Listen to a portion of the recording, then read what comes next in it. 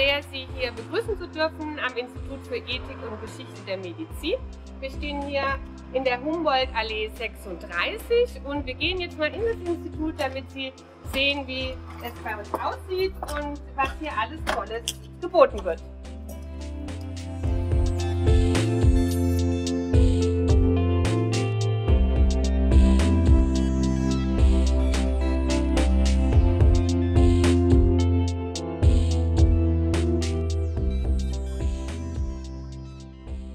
Noch einmal willkommen im Institut für Ethik und Geschichte der Medizin. Mein Name ist Claudia Wiesemann. Ich leite dieses Institut. Warum Ethik und Geschichte der Medizin? Nun, die Medizin selbst ist eine durch und durch vergesellschaftete Institution. Sie antwortet auf Sinnfragen der Menschheit und sie beeinflusst unser Bild vom Menschen nachhaltig. Die WissenschaftlerInnen dieses Instituts untersuchen die historische Funktion der Medizin, ihre kulturelle und globale Bedeutung und nicht zuletzt ihre ethischen Dimensionen. Wir fragen etwa, wie hat sich die Beziehung zwischen Ärztinnen und Patientinnen historisch entwickelt? In welcher Beziehung stehen die Begriffe und Konzepte der Medizin zu sozialen und kulturellen Faktoren. Und nicht zuletzt, welche ethischen Ziele hat die Medizin und sind sie zu rechtfertigen? Wir laden Sie herzlich ein, mit uns gemeinsam darüber zu reflektieren. Ja, normalerweise tragen wir im Moment hier alle natürlich Maske, aber für den Zweck dieses Videos erlaube ich mir, die mal ganz kurz abzunehmen, damit Sie mich auch besser verstehen. Wir gehen jetzt in die Bibliothek des Instituts die eben auch für viele Studierende und Forschende aus allen Bereichen offen steht. Diese Bibliothek hat eine ganz beeindruckende Sammlung, was historische und ethische Fachliteratur angeht. Und wir haben eine wunderbare Bibliothekarin, die eben auch Studierenden hilft, wenn sie etwas für ihre Doktorarbeit oder eben für ihr Studium suchen.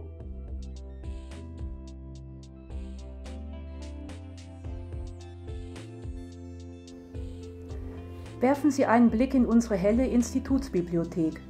Unser Bestand umfasst mittlerweile über 25.000 Bände zur Geschichte und Ethik in der Medizin. Seit 1998 besteht eine Kooperation mit der Akademie für Ethik in der Medizin, wodurch der Sammelschwerpunkt Medizinethik laufend um aktuelle Literatur erweitert wird.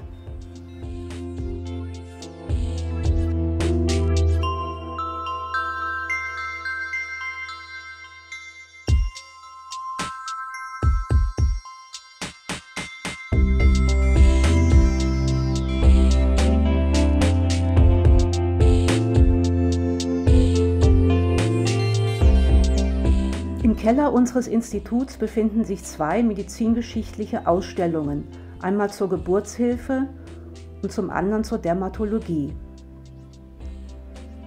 Einzigartige Lehrmittel waren die Moulagen. In der Anfangszeit der Dermatologie und Venerologie wurden diese Objekte gesammelt. Einzigartig sind sie deshalb, weil hinter jeder Moulage ein realer Patient mit seinem Leiden steht.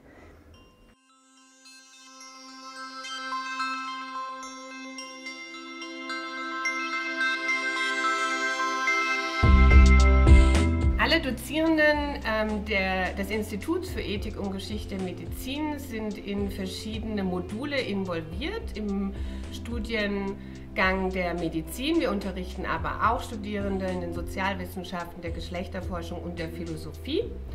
Ähm, wir sind ähm, natürlich ganz präsent schon im ersten äh, Jahr für die Studierenden, wenn es um die Terminologie geht.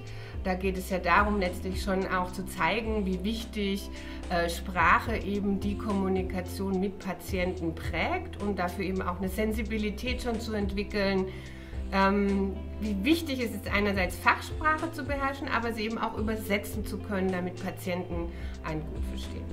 Ähm, weiter dann ähm, ist für uns wichtig, dass wir das Fach Geschichte und Ethik kombiniert unterrichten. Das machen wir dann in den späteren Studiengängen. Ähm, zum Beispiel auch im Gynäkologie-Modul wird ähm, ethische Fallbesprechungen durchgeführt. Und in dem Bereich der Geschichte und Theorie der Ethik der Medizin geht es uns vor allem darum, dass die Studierenden ein Gefühl dafür bekommen, dass sich ähm, zum Beispiel die Arzt-Patienten-Beziehung über die letzten Jahrhunderte sehr stark verändert hat und eben immer auch von gesellschaftlichen und politischen und natürlich rechtlichen Rahmenbedingungen abhängt. In der ethischen Lehre ist es uns sehr wichtig, dass Sie praxisorientiert lernen, ethische Herausforderungen zu erkennen, zu benennen, im Team zu besprechen und dann eben auch eine gute Lösung für sich zu finden und diese eben auch argumentativ vertreten zu können. Jetzt stellen sich noch die Mitarbeiterinnen und Mitarbeiter des Instituts ähm, kurz vor. Hallo, mein Name ist Alfred Simon. Ich bin Philosoph und Medizinethiker und leite hier in Göttingen die Geschäftsstelle der Akademie für Ethik in der Medizin.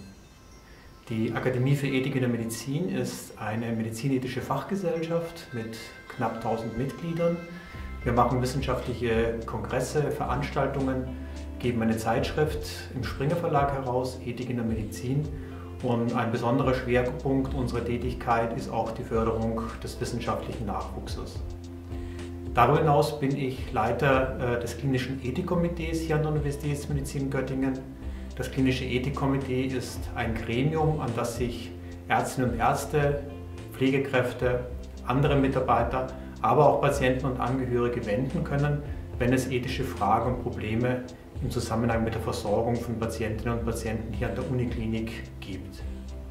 Bin auch schon seit vielen Jahren in die Lehre des Instituts für Ethik und Geschichte der Medizin involviert und Schwerpunkte sind hier zum einen Fragen am Lebensende, Patientenautonomie, Patientenverfügungen, aber auch ethische Fragen in der Psychiatrie oder in der Transplantationsmedizin.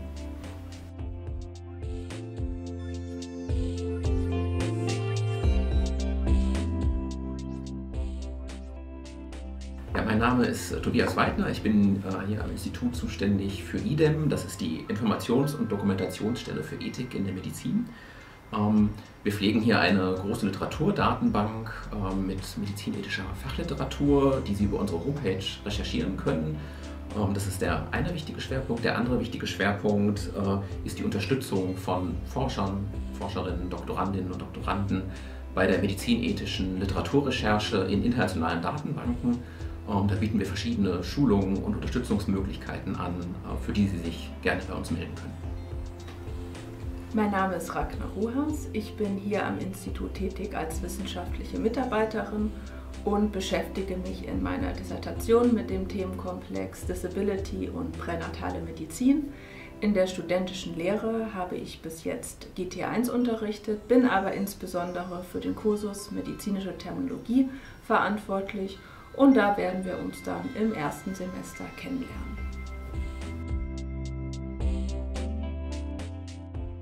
Mein Name ist Lorena Buhr, ich bin wissenschaftliche Mitarbeiterin im Team von Professorin Silke Schicktanz. Meine Forschungsinteressen liegen im Bereich Digitalisierung des Gesundheitswesens und der medizinischen Forschung und in der Lehre unterstütze ich das Fach Geschichte, Theorie und Ethik der Medizin. Ich freue mich auf Ihre Teilnahme.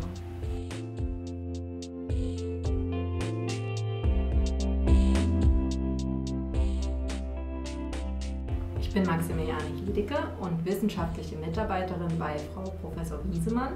Hier am Institut bin ich seit einem Jahr Doktorandin und im Projekt Trans Kids tätig. Dort beschäftigen wir uns gemeinsam mit der Universität Münster, wie der Umgang mit transgeschlechtlichen jungen Personen im Gesundheitswesen diskriminierungsfrei gestaltet werden kann.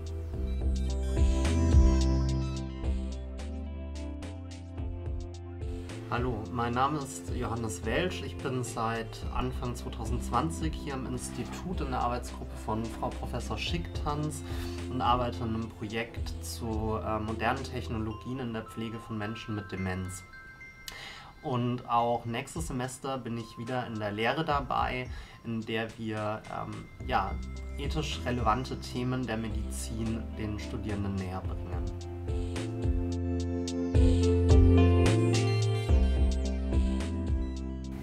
Hello, my name is Simrita Punai Shenjan. My research focus is on predictive medicine within the specific context of early diagnosis and prediction of dementia. I am responsible in teaching Introduction to Biotics courses.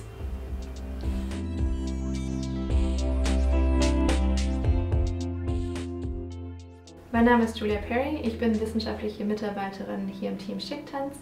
Ich forsche zu den Bereichen Implikation genetischer Tests und Prädiktion sowie zu Demenz- und Forschungsethik.